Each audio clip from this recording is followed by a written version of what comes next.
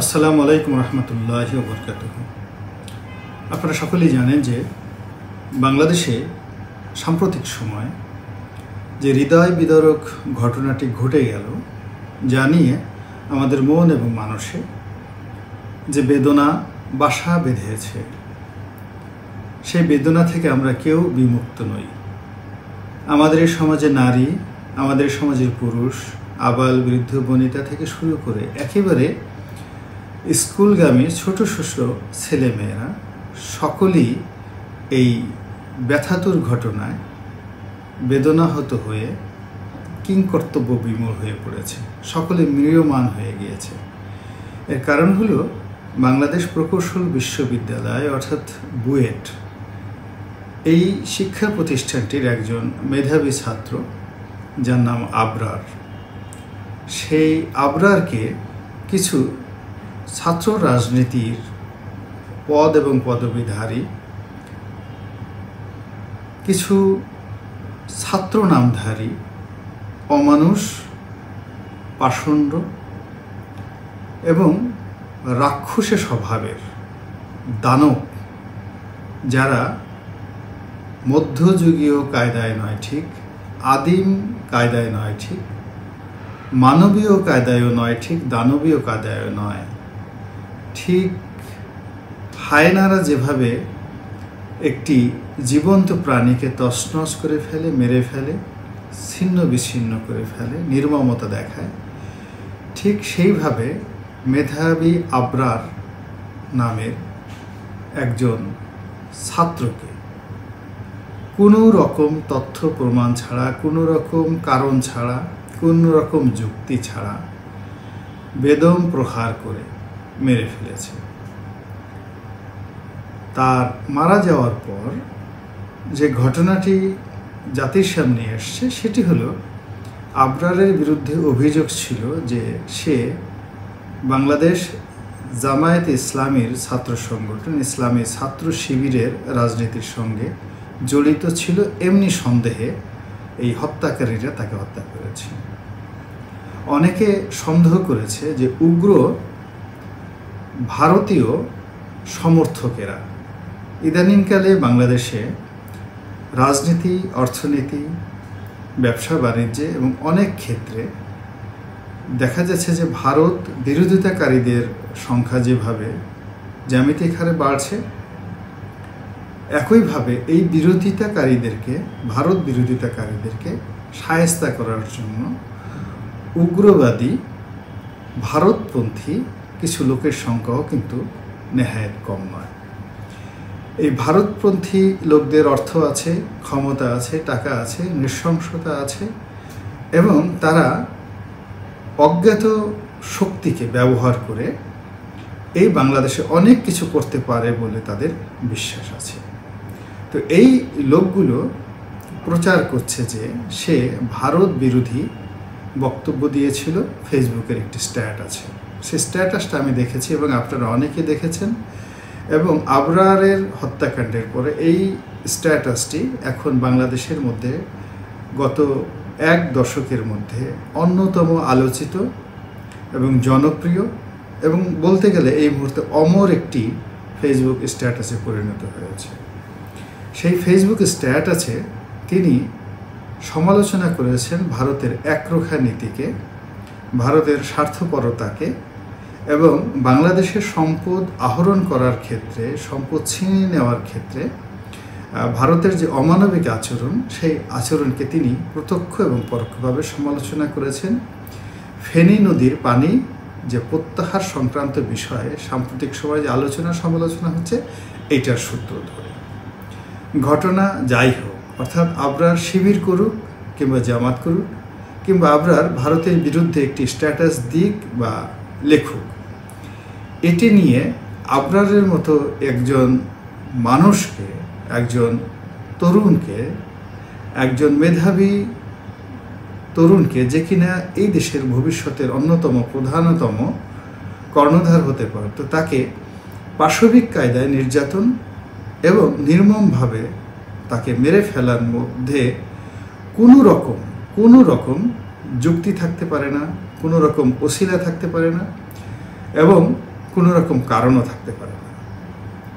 সবচেয়ে বড় কথা হলো যে এই আবরারের নির্মম হত্যাকাণ্ডটি কেন ঘটলো? সবাই শোক প্রকাশ করছেন। আমি আসলে কয়েকদিন এই ঘটনার পরে বেশ শোকাচ্ছন্ন ছিলাম এবং আবরারকে নিয়ে আমি যে দৈনিক নয়াদিগন্ত পত্রিকায় কলাম লিখে সাপ্তাহিক প্রতি শুক্রবারে সেখানে তাকে নিয়ে আমি একটা কলাম লিখেছি। স্বপ্নলোকের কল্পযোগে আবরারের অন্তিম আর্তনাদ। এবং সেটা লিখতে গিয়ে আমি আবেগতাড়িত হয়ে কেঁদেছি, অনেকক্ষণ কেঁদেছি। আজকের এই ভিডিওতে আমি ঠিক সেই আবেগতাড়িত হব না। আমি শুধু বলব যে আবরারকে কেন মারা হলো এবং কি কারণে মারা হলো। আপনারা জানেন এবং ইতিমধ্যে জেনে গেছেন বিশদভাবে যে আবরারকে যারা হত্যা করেছে, তারা কারা? তারাও কিন্তু এই বুয়েটেরই শিক্ষার্থী। এবং আমরা জানি যে বুয়েটে যারা লেখাপড়া করেন, তারা ছাত্রদের মধ্যে সব চাইতে মেধাবী, সবচাইতে উজ্জ্বল ধীশক্তি সম্পন্ন মানুষ, মেধাবী এবং যাকে বলে উচ্চাকাঙ্ক্ষী হয়ে থাকেন। তো এর মধ্যে যেমন নিহত আবরার আছেন, আবার এর মধ্যে হত্যাকারী আবরারের হত্যাকারীও রয়েছেন। তা আমার প্রশ্ন হলো এবং আমার আফসোস হলো, প্রশ্ন সংক্রান্ত আফসোস হলো যে সমাজের সব চাইতে মেধাবী, সবচাইতে ভালো ছাত্র বলে স্বীকৃত, সবচেয়ে উচ্চাকাঙ্ক্ষী শ্রেণীটির মধ্যকার তরুণেরা যদি একটি দেশের, একটি দলের, একটি মতাদর্শের এত কট্টর সমর্থক হয়ে যায়, এত কট্টর কর্মী হয়ে যায় যে কট্টরতার কারণে, যে ফান্ডামেন্টাল ইজমের কারণে, তারা তাদেরই একজন সহপাঠী বন্ধুকে ঠিক পশুর মতো পিটিয়ে মারতে পারে। পশুকেও আসলে এইভাবে আমি কখনো কোনো পশুকে এইভাবে মারতে দেখিনি। সাধারণত বিষাক্ত কীটপতঙ্গ দেখলে ক্রোধে মানুষ এভাবে মারে। যেমন বিষাক্ত বিষধর সাপ। একমাত্র সাপকে মানুষ এভাবে মারে। আর হলো মারে, দেখা যাচ্ছে যে কোনো শুয়োর কোনো গ্রামে দীর্ঘদিন যাবৎ আক্রমণ করে যাচ্ছে। কারও মুরগি খেয়ে ফেলছে, কারও শিশুকে কামড়িয়ে খেয়ে ফেলছে, প্রতিদিন ফসলের খেতে হানা দিচ্ছে। এইরকম উপদ্রবকারী শুয়োরকে যখন কোনো গ্রামবাসীরা একত্র হয়ে ধরে ফেলে, তখন ওই শুয়োরের উপর যে ধরনের তাণ্ডব চালায়, ঠিক ওই ধরনের তাণ্ডব এই আবরারের উপর চালানো হয়েছে। তো একজন মেধাবী তরুণের উপরে অন্য বেশ কয়েকজন, উনিশ জন আসামি করা হয়েছে বলে আমি শুনেছি। সেই উনিশ জন হোক বা বিশ জন হোক, এই মেধাবী তরুণেরা এইরকম কণ্ড করল, এইরকম কাণ্ড করল যেটি আমাদের চিন্তা জগতে ঠিক বিরাট একটা আঘাত এনেছে। এর কারণ হলো আমরা কোথায় আছি, কীভাবে আছি? মেধাবীরা যদি এই অবস্থা হয়, তাহলে সাধারণ মানুষের ক্রোধ, সাধারণ মানুষের স্বার্থপরতা, সাধারণ মানুষের দলবাজি কোন পর্যায়ে গিয়ে নেমেছে? এটি যারা বর্তমান ক্ষমতা আছেন, তাদের বুঝতে হবে যে তাদের, এই সাধারণ মানুষদের মধ্যে তাদের উগ্র কর্মী সমর্থকরা কি পরিমাণ নৃশংসতা চালাচ্ছে বা চালাতে পারে, তার প্রকৃষ্ট প্রমাণ হলো যে তাদের সমর্থকদের মধ্যে সবচেয়ে মেধাবীরা, সবচেয়ে রুচিশীলীরা সবচেয়ে অভিজাত বলে সবচেয়ে উচ্চাকাঙ্ক্ষী বলে যারা এই সমাজে প্রতিষ্ঠিত হতে চলেছে। তারাদের কর্ম যদি এতটা মন্দ প্রকৃতির হয়, তাহলে সমাজের অন্যান্য স্তরে মধ্যে, অন্যান্য নিচু সম্প্রদায়ের মধ্যে, অন্যান্য খেটে খাওয়া মানুষের মধ্যে যে উগ্রবাদিতা বিস্তার লাভ করেছে, সেটার নির্মমতা কতটা হতে পারে? এবং যখন এদের বিরুদ্ধে, অর্থাৎ এই গ্রুপটি যারা এতদিন যাবৎ এই আবরারের হত্যাকারীদের মতো বাংলার আনাচে কানাচে এই ধরনের নির্মমতা করে যাচ্ছে তাদের বিরুদ্ধে যখন রুখে দাঁড়ানো হবে, তখন এদের বিরুদ্ধে যারা রুখে দাঁড়াবে, তারা যদি বিজয়ী হয়, তাহলে ওই বিজয়ী লোকদের নৃশংসতা কতটা নির্মম হবে ভাবতেই সারা শরীর কাটা দিয়ে ওঠে। যেটা বলছিলাম, সেটা হলো আবরারের মৃত্যের, মৃত্যু হওয়ার বা আপনার এই হত্যাকাণ্ডের কারণ কি? আমার মতে কারণটা হলো যে, যারা এই হত্যাকাণ্ড ঘটিয়েছে, তাদের ধারণা হলো যে এই কাজ করলে বা এই ধরনের কাজ করলে তাদেরকে অনেক পুরস্কার দেওয়া হবে। এবং তাদের যারা ঊর্ধ্বতন কর্তৃপক্ষ আছেন, নেতা আছেন তাদের নিয়ন্ত্রণকারী আছেন, তাদের পুরস্কারদাতা আছেন, তারা এই ধরনের কর্মকাণ্ডে খুশি হবেন বা এই ধরনের কর্মকাণ্ডে সন্তুষ্টি প্রকাশ করবেন।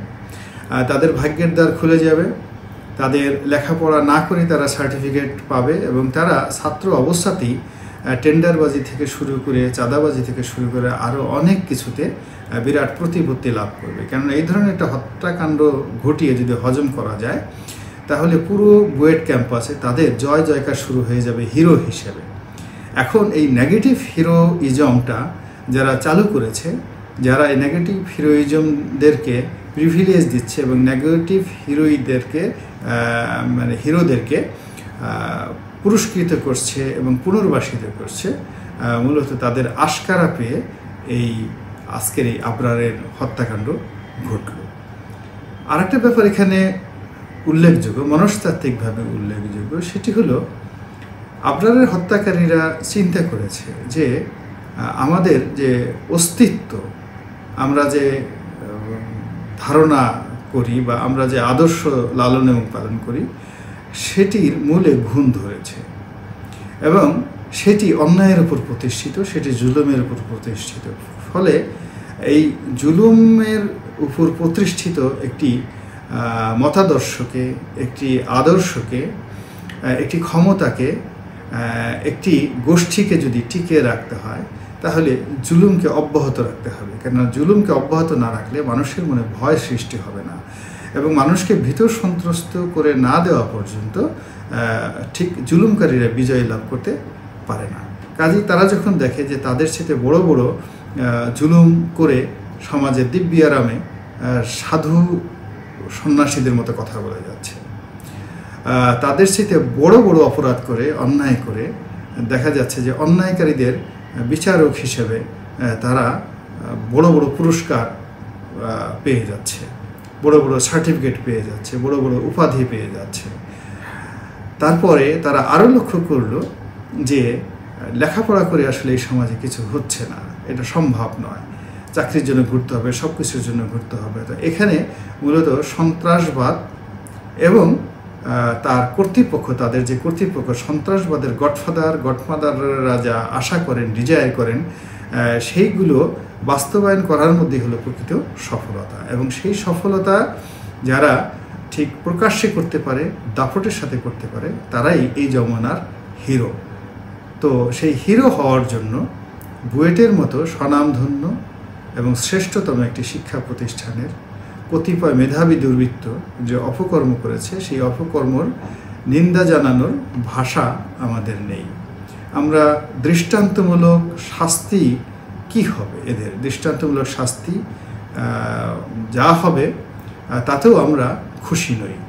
আমরা চাই যে এমন কিছু ঘটুক, এই ঘটনাকে কেন্দ্র করে এই অপরাধীদের এমন কিছু মনস্তাত্ত্বিক ঘটনা ঘটুক, পারিবারিক সামাজিক ঘটনা ঘটুক, যে ঘটনায় ভবিষ্যতে সমস্ত অপরাধীরা যেন ভয়ে থরথর করে কাঁপতে থাকে।